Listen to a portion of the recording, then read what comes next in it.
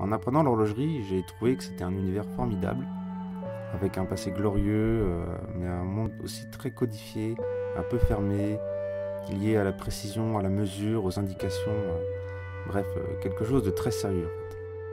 Et je trouve que la beauté des mécanismes horlogers, qui est très subtile, n'a pas toujours été assumée, et c'est dommage, souvent caché derrière des, des cadrans et des boîtiers.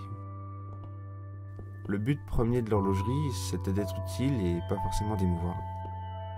Aujourd'hui, on, peut faire de l'art avec tous les matériaux et tous les supports. Et je me suis posé la question, euh, peut-on faire de l'art avec de l'horlogerie finalement? Et personnellement, je pense que oui. Dans mon travail, j'utilise des mécaniques horlogères pour ensuite les fusionner avec des insectes, des animaux, des machines, enfin bref, d'autres univers. Ça crée une véritable métamorphose en fait de la mécanique horlogère à travers l'animal euh, ou la machine avec laquelle elle est associée.